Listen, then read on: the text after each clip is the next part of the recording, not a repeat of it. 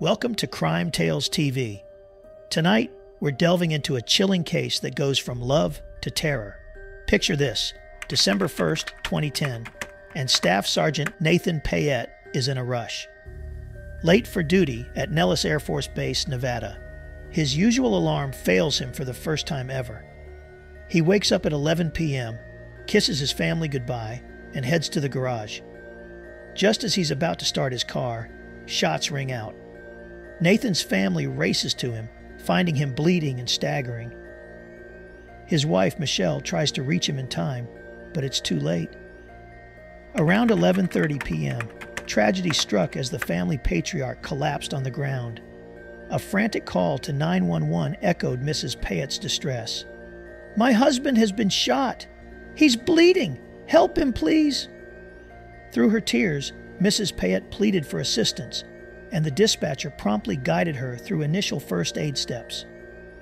Despite Michelle's valiant efforts with artificial respiration, they proved futile. Upon the arrival of rescuers, he was swiftly transported to the nearest hospital, where medical professionals exhausted every resource to save him. Tragically, the wound to his neck proved fatal. This moment marked a stark division in Mrs. Paet's life a demarcation between before and after the loss of her heroic husband, slain on the doorstep of their Las Vegas home. The subsequent outcry from the public, coupled with the support of friends, family, and concerned citizens, demanded answers from law enforcement regarding the motivations behind the criminal act. Eventually, the perpetrator was apprehended and brought to justice, though questions lingered. Nathan Joseph Villagomez Paet was born on February 12, 1982, in the village of Tamuning, Guam. Despite its status as a U.S. territory, Guam maintains a distinct identity. Known for its historical significance and natural beauty, Guam attracts numerous tourists. Nathan was blessed with a large, affectionate family, including brothers Matthew, Anthony, and Eric, as well as sister Carmela. Renowned for his kindness and diligence, Nathan navigated through adolescence with a remarkable lack of trouble, excelling both at home and in school. He possessed a magnetic personality, drawing others to him effortlessly. Nathan's affinity for the ocean blossomed into a passion for surfing, occupying much of his leisure time.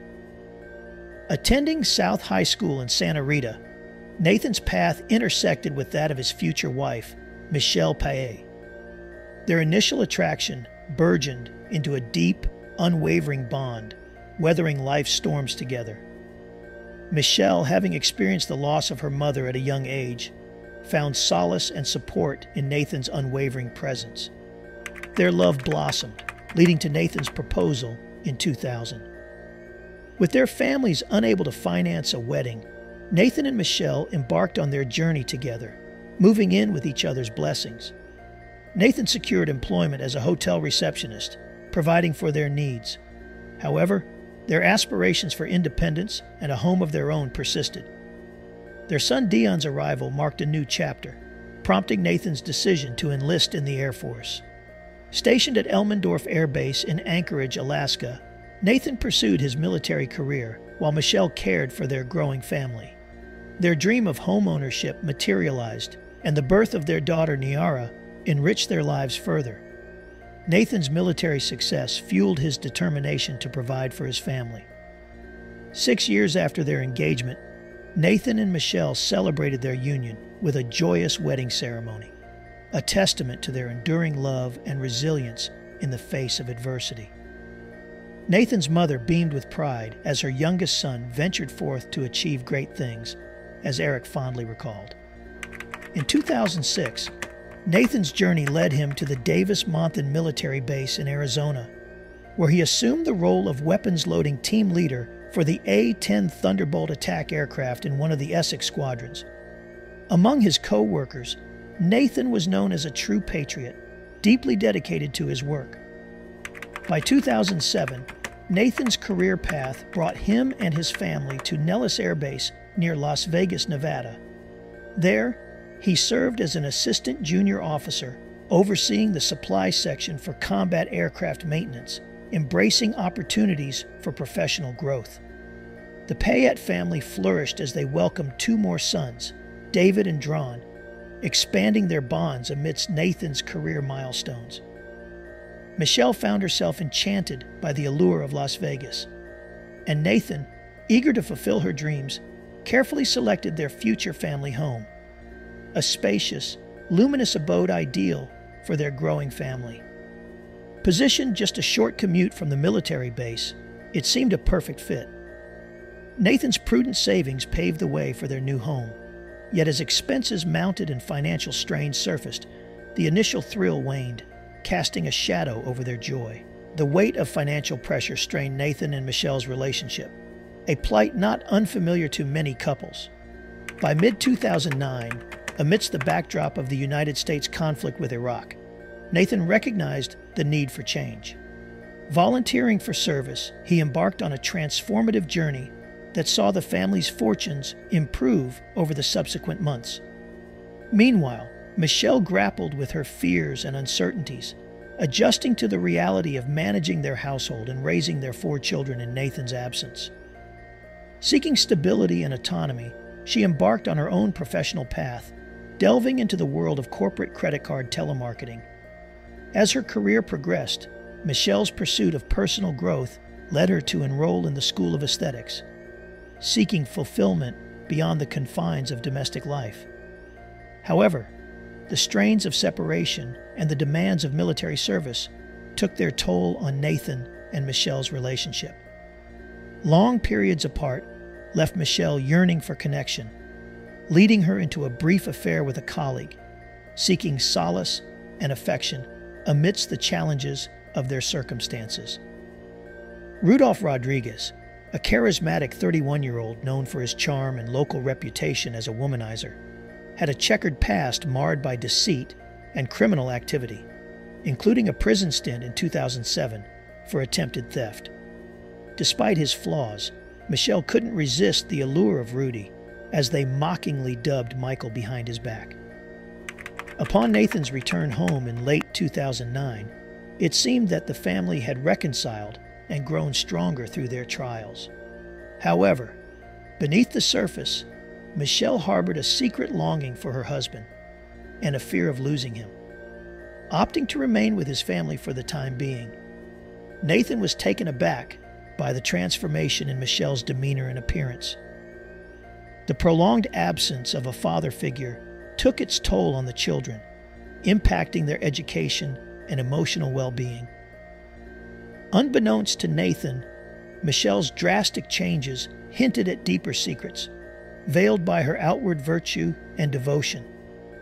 Seeking financial stability, Nathan sought additional income opportunities in Las Vegas, taking on night shifts, private tutoring, and developing a simplified baseball curriculum for children. Meanwhile, Michelle's pretense of reconciliation quickly dissolved as financial strains exacerbated marital tensions. During Thanksgiving 2010, the arrival of brother Eric and his wife Veronica exposed the cracks in Nathan and Michelle's relationship, laying bare the strained dynamics within the family. Despite Michelle's efforts to feign reconciliation, the reality of their deteriorating marriage became undeniable. A fateful conversation between Mrs. Paet and Mr. Rodriguez on December 1st, 2010, hinted at sinister intentions brewing beneath the surface. Michelle's admission of marital dissatisfaction and financial concerns planted the seeds for a nefarious plot, fueled by greed and desperation.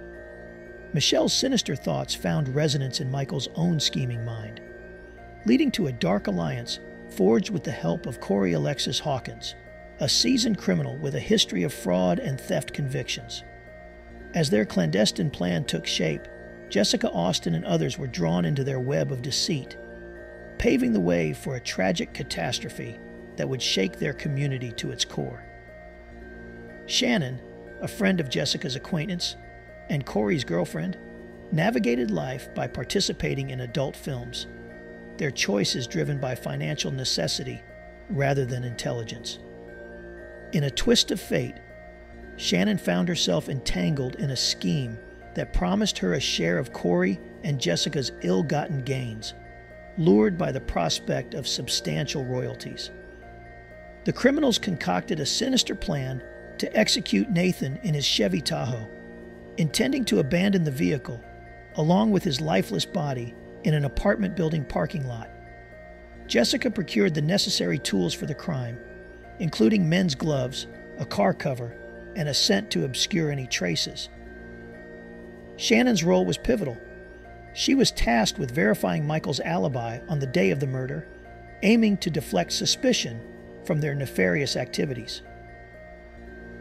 On December 1, 2010, as Michelle returned home feeling unwell, she encountered her husband Nathan sleeping on the sofa. Seeking solace, she proposed they retire upstairs together, unaware that it would be their final night together before tragedy struck. As Nathan rushed downstairs, running late for work, Michelle engaged in coded correspondence with Michael to avoid arousing suspicion. Meanwhile, Michael and his accomplice sat in a black Cadillac SRX parked strategically near the victim's home, donning latex gloves to prevent leaving any incriminating evidence. Aware of the potential threat posed by Nathan's military training, Michael opted to ambush him from behind. Drawing his pistol, Michael fired five shots into Nathan's back before fleeing the scene in his car. After the brutal act, the perpetrators swiftly retreated to a predetermined location, disposing of evidence and burning their clothes in a fireplace to cover their tracks. Seeking to establish an alibi, Michael and Shannon checked into a hotel, while Jessica meticulously cleaned their shared apartment. The arrival of emergency services police officers at the scene left them stunned by the heinous crime that had unfolded in the typically peaceful neighborhood where the Paet family resided. Detective Todd Williams, tasked with investigating the shooting, found the garage door unlocked, with a distinct iron smell permeating the air. Blood was splattered on the walls and car interior, with traces evident on the floor. Despite the untouched valuables, indicating a motive beyond robbery, the incident was initially classified as a robbery murder. After examining the scene, Detective Laurie Anderson decided to speak with the victim's wife, Michelle, to gather more information. Michelle explained the events leading up to the incident, mentioning the family's financial struggles. This detail raised suspicions among the police, suggesting the possibility that Nathan may have been hiding something from his wife, such as a gambling addiction, debts, or an extramarital affair. Despite the initial uncertainties, all evidence pointed to Nathan being deliberately targeted. The investigation progressed as detectives scrutinized the victim's cell phone, which contained only pictures of his wife and children, reinforcing the perception of Nathan as a decent man. The next phase of the investigation involved canvassing the neighborhood for potential witnesses. Typically, there's someone who may have seen or heard something relevant. In Nathan's case, neighbors reported seeing a car parked near the Paet residence, driven by a man in a brown sweatshirt. After the shots were fired, the vehicle quickly fled the scene, providing detectives with a valuable lead. Nathan's family was devastated by the tragic news, rushing from Guam to seek answers. Michelle, overwhelmed with grief, embraced her mother in law upon their arrival, but then unexpectedly lost consciousness. This reaction raised suspicions among investigators, prompting further inquiries into Michelle's behavior. Concerned about discrepancies in Michelle's account, investigators revisited their conversation with her. During questioning, Michelle unexpectedly mentioned her colleague Michael Rodriguez, who owned a similar car to the one seen near the crime scene. This revelation added another layer of complexity to the investigation, prompting detectives to delve deeper into Michelle's connections and potential involvement in the case. Despite initially providing ambiguous information, Michelle's cooperation helped shed light on the unfolding events. Police later concluded that Michelle either inadvertently revealed the truth or exposed flaws in the perpetrator's plan. Detectives delved into Michael's background uncovering a criminal record that heightened suspicions. During questioning, Michael claimed to have been shopping at a supermarket around 9 p.m. on the night of Nathan's murder.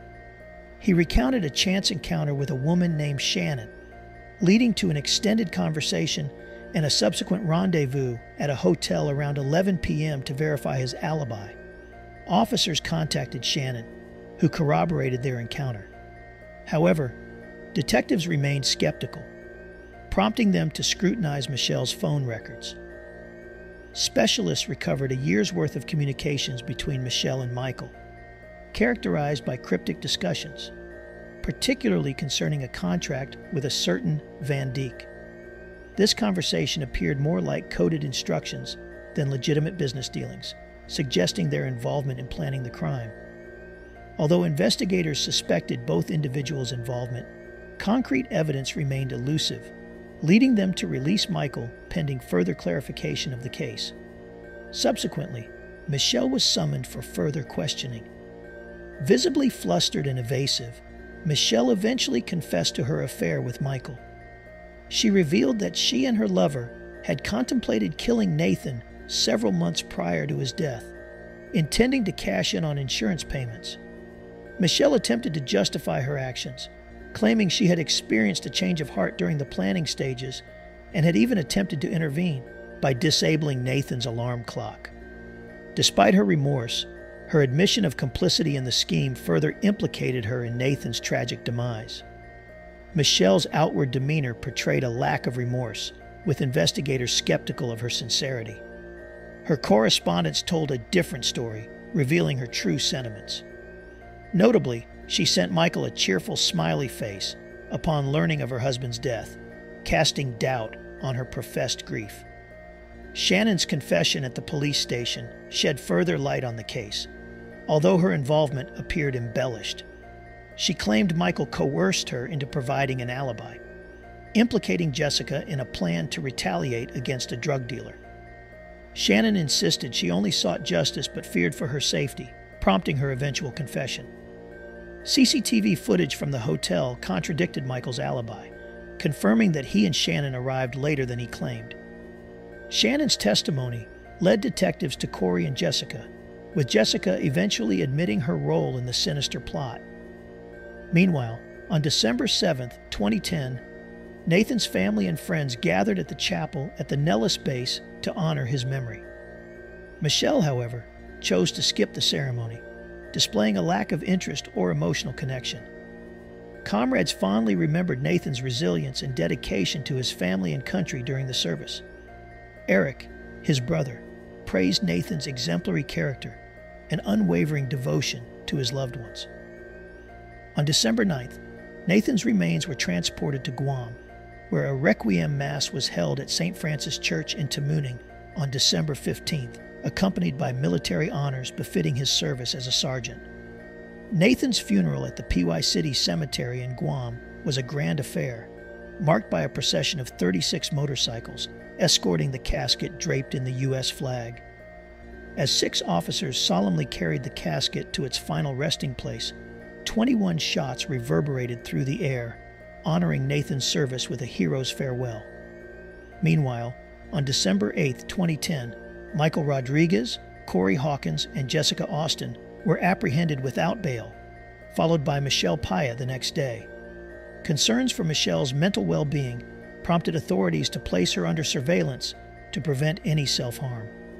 The legal proceedings commenced on January 4, 2011, at the Clark County District Court, where the four accomplices faced charges of conspiracy to commit murder and robbery with a firearm, as well as murder with a firearm. Michael and Corey faced additional charges of firearm possession. Over the course of three years, the trials unfolded amidst denials of involvement from some defendants. Bolstered by robust defense teams, multiple motions were filed in an attempt to exclude certain evidence from the case. However, the court consistently rejected these motions, prolonging the trial process.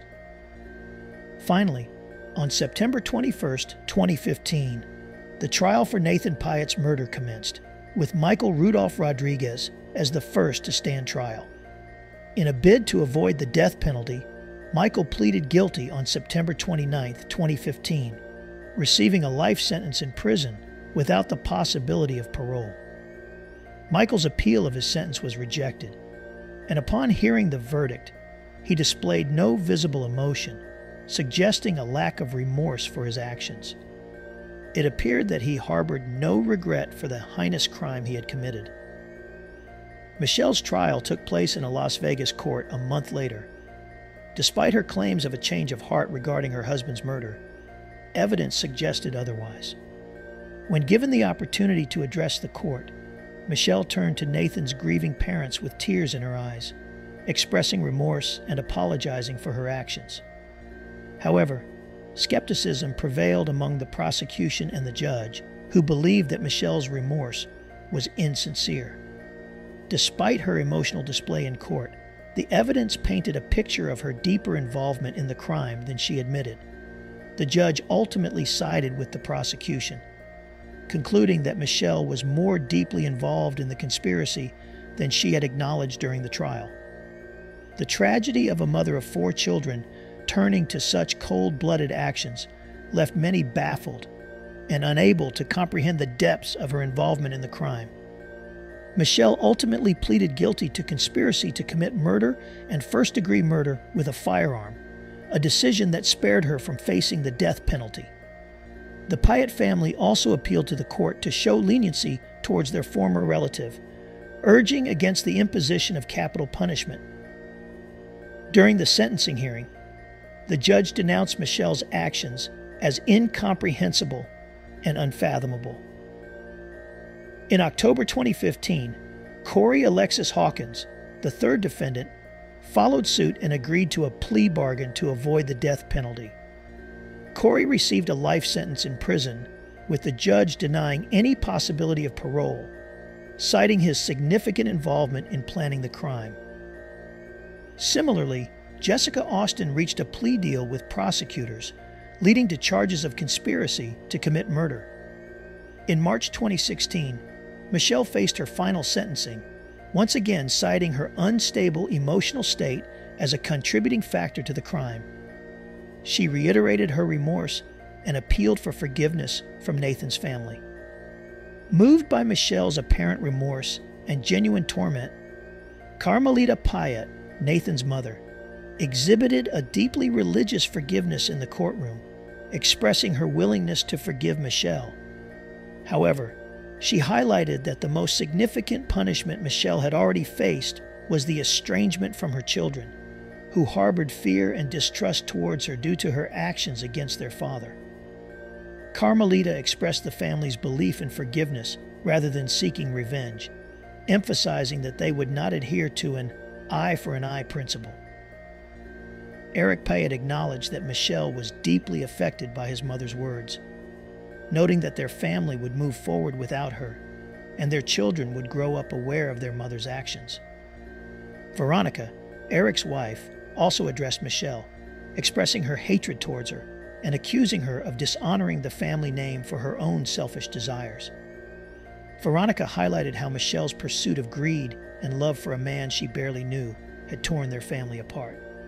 She painted a poignant picture of Michelle's betrayal, emphasizing how she had become the murderer of the man she once deeply loved and had built a life with. Veronica questioned whether Michelle had ever considered the consequences of her actions, highlighting the stark contrast between Michelle's pursuit of happiness and Nathan's selfless dedication to his family.